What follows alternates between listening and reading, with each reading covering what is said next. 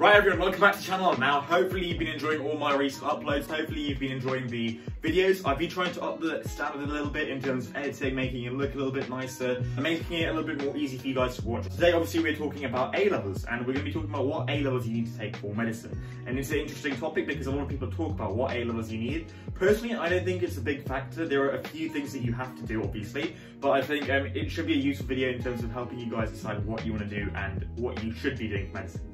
And before we get into the video, guys, make sure you try and hit the subscribe button. We are on around 172 subscribers, which is great news. Um, I actually want to hit 200 subscribers by the end of March. It's looking a bit optimistic, but if we can try and get to 200 subscribers, I would be super appreciative and that would be really awesome news. Please do hit the subscribe button down below. Let's keep growing.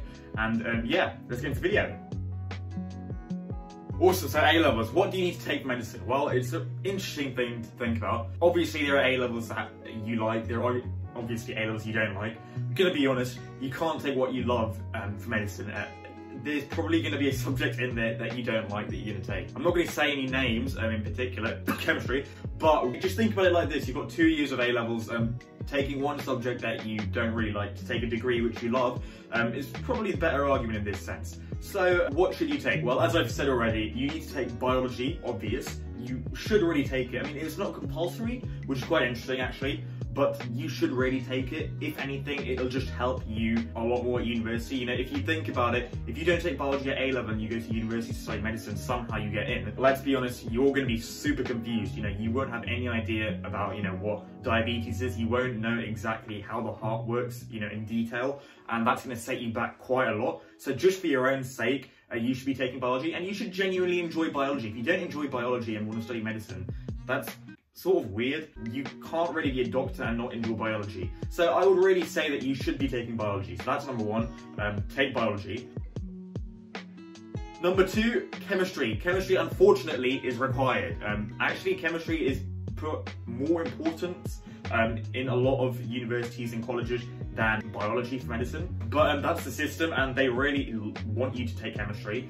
Now I get that a lot of you probably don't enjoy chemistry. I'm gonna be honest, I really didn't like it. Despite that, I had to take it and it was manageable. I did it, I got an A star. Um, so obviously, if I, a person who really doesn't like chemistry, can get an A star, you can get an A star in the subject, you can get whatever grade you need to get in but you definitely need to take chemistry. It's a definite subject. And actually, they even want you to do well in that subject. Usually, the A star that they'll ask you to get is probably to come up in chemistry, which is even more annoying. Um, but you guys do have to take chemistry, so that's the next subject I would say even more important than biology, if you're not going to take bio, which is you have to take chemistry. Chemistry is that subject which you cannot get into university without medicine. The reason being for that, I'm not really sure. It could be that, you know, at university talk a lot about pharmacology medicine, and that's quite a big step up, so you need to learn a lot about chemistry. And to be fair, there's a lot of chemistry that comes into biology, you know, things like membranes in the body, continuous and discontinuous membranes, the blood-brain barrier, a lot of that circulates around hydrogen ions moving in and out,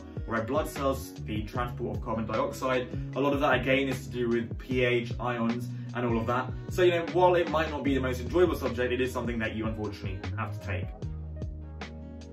The next subject, however, good news, really up to you. You can take whatever you want um, for the next subject. Now, most people say you have to take maths. That's not true. Most people tend to take maths just because it's really easy. It overlaps with biology and chemistry quite a lot. You know, you've got things like um, equations and statistics that you learn a lot in biology and chemistry. Taking maths is sort of like killing two birds with one stone. It's really easy and you know, you're going to probably want to take maths as well. So if you do enjoy maths, take it, you know, that's great. It's probably the most common one people take, um, but you there's no need to take maths. Um, before I, you know, spread any sort of incorrect information out there, you don't need to take maths, you know, the first thing I'd say is to check the university that you're applying to. Make sure that they don't say they want a particular subject or maybe they like a particular subject in applications because if so, go for that.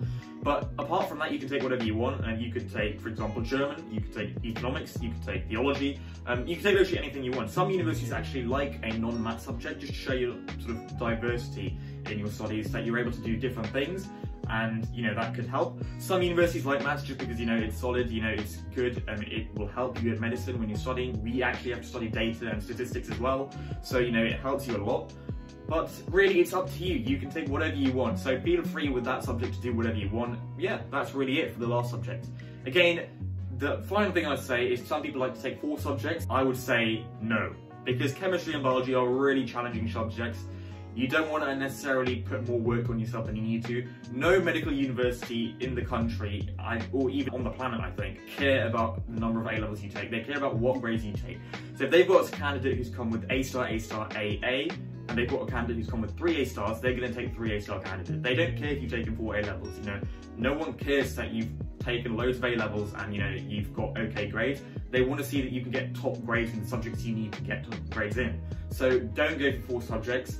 And some people say, hey, can't I just take further maths as maths and you know that's my sort of four subjects. Again, further maths, do not take it. It is super hard further maths. I've seen people, you know, at my secondary school take further maths and the amount of time they spend on further maths it's really, really difficult. Like medical applications are like an A level in themselves, so you cannot afford to waste any more time doing further maths. No one wants you to take further maths, so don't take it. Unless obviously you really enjoy maths and it's really easy and it, you know you know you can do it. You know, if, in that case, do it. But if you're taking it just to show the university you can take four A levels, please do not do that. It is a waste of time. They don't care. No one cares. I don't care. You don't care. The world doesn't care that you can take four A levels. What they want to see is you, are getting three A stars in the A levels that you're taking. That's what I would say in terms of taking more than three A levels and also taking further maths. So hopefully that's a very useful um, sort of bit of information from me to you guys. Hopefully it helps you guys a little bit more understand about what A levels to take um, and when to take them, and how to take them. And hopefully you guys find it enjoyable. If you did, smash the like button down below.